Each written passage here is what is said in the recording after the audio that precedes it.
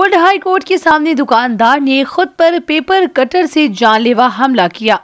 अतिक्रमण हटाने गए प्रशासन की कार्रवाई से दुकानदार नाराज़ था। ये घटनाक्रम नायब तहसीलदार पटवारी और पुलिस के सामने हुई। दुकानदार खुद पर किया जानलेवा हमला। रोकने का प्रयास करने पर पुलिसकर्मी को भी चोट आई है। इंतरगंज थाना प्रभारी ने बताया कि हमले में दुकानदार नवीन घायल हुआ है।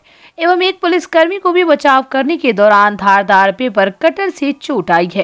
पुलिस ने घायल व्यापारी को अस्पताल में भर्ती कराया। वहीं पटवारी के आवेदन पर दुकानदार के खिलाफ शासकीय कारा में बाधा डालने का मामला दर्ज हुआ है।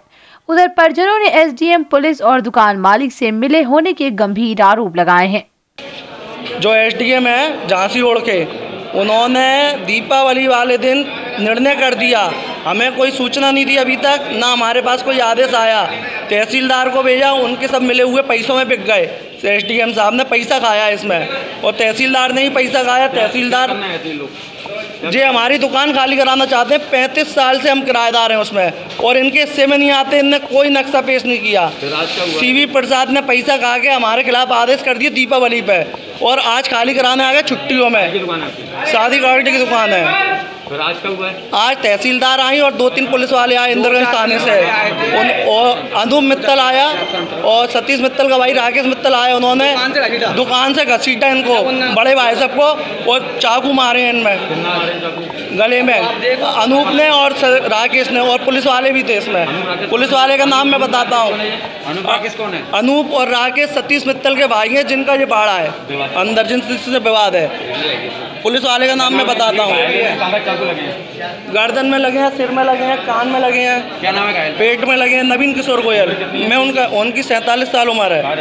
ये भोड़ापुर रहते हैं ये देखे ये पुलिस वाले इनने भी मारा है। और इनसे मैंने पूछा भैया को क्या हुआ? तो कह रहे ऐसे ही होना था इनके साथ तो।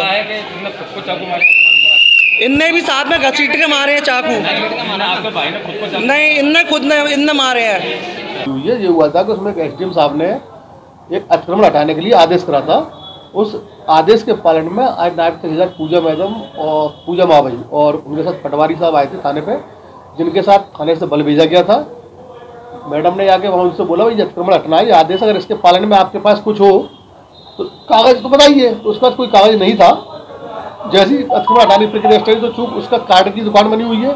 उसमें से उसने जो कार्ड कार्ड के लिए फंडा टाइप का होता है, वो उठा के अपने ऊपर गले के आसपास और पेट में मार लिए। पुलिस ने बचाने के लिए ना पुलिस के आदमी भी मार दिया हमने।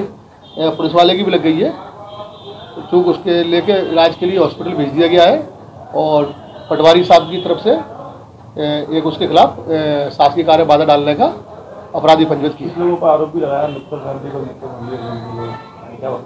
में क्या आरोप लगाया बता एस डी एम के आदेश के पालन हो गई थी ना वो तो तहसीलदार मैडम और पुलिस तो उनके आरोप से क्या होता? है और भाई आरोप जीता कि अगर उनके पास उस एस डी एम के आदेश के अगेंस्ट में कुछ था तो जो नायब तहसीलदार मैडम ने उनसे कहा था कि अगर आपके पास कुछ है तो बताइए। दस मिनट इसी बात को दिए थे। तो आप कागज़ था तो बताते।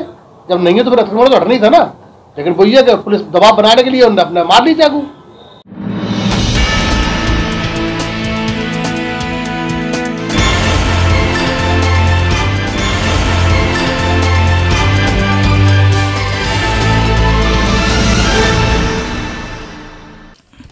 हमारी अपडेट खबरें देखने के लिए यूट्यूब पर हमारे चैनल को सब्सक्राइब और बेल आइकन को दबाना ना भूलें।